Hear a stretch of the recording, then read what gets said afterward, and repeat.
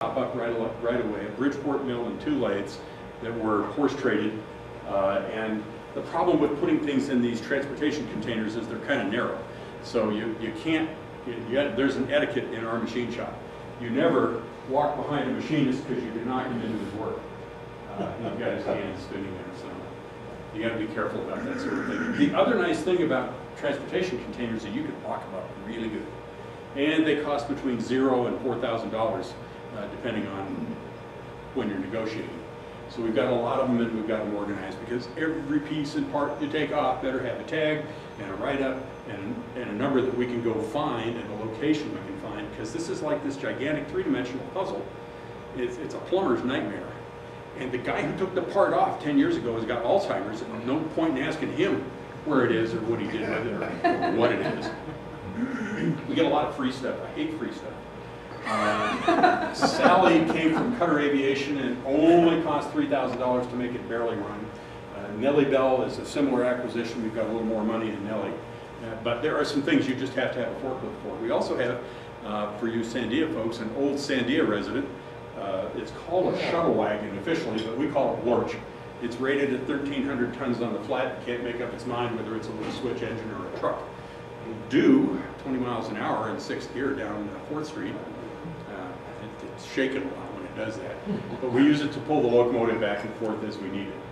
We got a refrigerated boxcar that doubles as our so-called education center. It was free, except for the fourteen hundred dollars to move it, the telephone pole that got knocked over, and the three hundred and fifty yard, uh, three hundred and fifty dollar trash trailer that we had to fill up with the stuff that was in it. And let's see, the wiring and the heating and the cooling and the floor and the shelving, but it was free.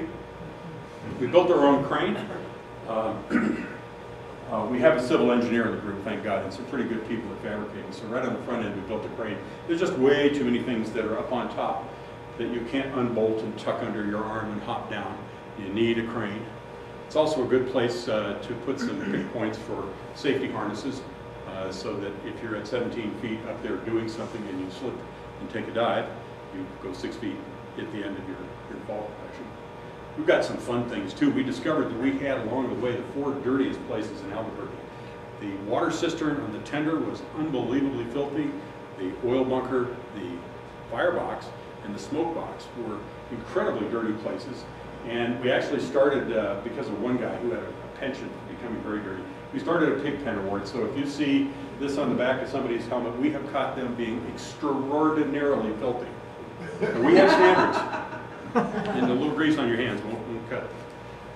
We also have a special award for those who work in our pit. We had to build our own pit too. Uh, every time you whack something while you're standing in the pit, things shower down upon you from above. And after a day of that, and it's in your eyes, and your eyes get red and you get irritated, uh, we refer to you as a pit rat. So we've got a patch for your uniform. We've got a logo that goes on the back of the jackets and things like that. It's, we had to play club. This is a society. I didn't believe that when the group was named society, but it really is. It's a group of people in a common effort who actually pretty much get along with each other. And we have cats. We have little feral cats that, that watch us from a safe distance and people go down and feed them and pick up after them and water them and that's boots on the ground as a security system by having extra people around taking care of our cats. And they go on the website and make comments like, are you guys ever gonna get that throttle bracket done? They make disparaging remarks to us every week. We are officially connected now with the Federal Railway Administration, the FRA. Um, When you deal with the FRA, you, you can't officially do that until you have what are called reporting marks. Reporting marks are four letters. If you do not own tracks, the last letter is X. So if you see a tank card that says TTLX, that's a company that owns tank cars and lets railroads rent them and use them. So we had to end with X. And uh, New Mexico Rail Runner was already NMRX. So it's like, damn, we can't have that one. So we thought about it, and thought about it, and finally came up with New Mexico Steam X for New Mexico sex. And now we can officially, it's like a license plate that we present to the FRA when they inspect, and that goes on all the documents, and that's us uniquely. We don't own the tracks. When we got this locomotive, we decided that basically it would be smart, since none of us yahoos had ever worked on this kind of thing before, do the tender first. A, it would look stupid to finish the locomotive and not be able to use it because the tender wasn't ready. And B, it would be simpler and we'd get our system down and we'd get our way of doing things together on our recording system. So let's try to do the tender first. And it looks great now. Actually, we discovered that that 24 and a half thousand gallon water cistern is crisscrossed with baffles, none of which had ever been cleaned, all of which had a heavy load of calcium carbonate precipitated on the walls. It was as thick as my hand. We pulled three tons of calcium carbonate out of that thing, caliche, same stuff that ruins your, your pipes at home. And I had to do that because if it breaks off a chunk and falls into the water intake, you might not get water into the locomotive. Yes, ma'am. Yes, a tender is that big square car that fits behind the locomotive that carries its supply of fuel and water, uh, without which the locomotive is like a car without a gas tank. Uh, in this case, you have to haul them both around with you. And, and so the 24 and a half thousand gallon water cistern, uh, which is accessed through hatches in the top and then you crawl through it, uh, you know why they have jungle gyms and schoolyards? Is to train you to crawl around inside a tent and they get dirty in the process. But we got that cleaned out. Then it turned out there is a big oil bunker, which holds about 7,000 gallons of oil. In the original application, it was bunker C, now called fuel oil number six. And at the bottom of the cracking tower, the really, really thick, heavy, gooey stuff, on a cold winter day, it's actually bunker chapstick. And you have to heat it up to make it flow. But it had good heat content, only a penny or two a gallon in 1944. Uh, so it was very popular. They still use it in marine diesels and that sort of thing. Uh, these days, we won't do that. We'll diesel, uh, filtered used motor oil, light sweet crude, except Conoco's not donating to nothing to nobody now. Uh, cheap French, French perfume, it doesn't really care. Good booze.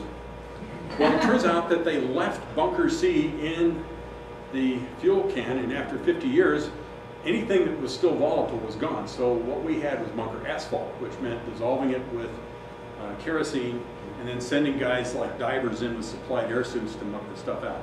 So that was another really good place to get dirty. One trip per supplied air, air suit. I mean, they were just destroyed in short order. With that done, uh, we had uh, uh, crane service uh, donated a lift and pulled the, the funny shaped oil bunker out of the thing for us so we could work on it. And then the same guy who pulled us out of the park came back in 2004, uh, the night of a 100-year rain. It was a horrendous drive. I made it with them from Texas, and they brought two cranes and lifted the tender up and took the body and put it on cribbing on one side, and took the big four-axle trucks and put them on a little scrap of track we built so that we could address the, the brake system, rebuild the, uh, their wear plates, and new springs had to be made and that sort of thing everything had to be cleaned and painted. We discovered that there's a stuff. You want to talk quality? Anybody ever use rust bullet? At $150 a gallon, you, you know you're using something expensive. The Navy buys it by the 55 gallon drum, it turns out. At, at our place, though, it's free because Rust Bullet likes us. And, you know, a gallon here or there doesn't bother them at all. We had to, uh, it wasn't, it wasn't sandblasting, it was copper slag blasting to clean off the. And we've been making these steps with the whole thing disassembled.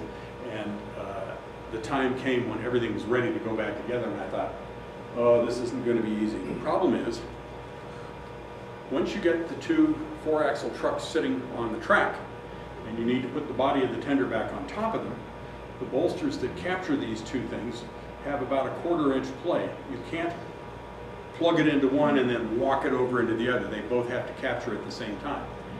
And I thought, we're going to be at this all day. It turns out that our riggers were careful enough and our measurers were careful enough. We had the tender body in the air for 24 minutes and plugged both bolsters on the first try. It was like, this is great. That's better than they did the shops originally. Probably. After that, putting the fuel can back in, it was no big deal. By noontime, uh, the, the cranes were gone and we were eating enchiladas. So. Got it painted, got it temporarily lettered with, these are not quite the right font. Everybody familiar with the concept of a foamer or rivet counter? Yeah, I am one.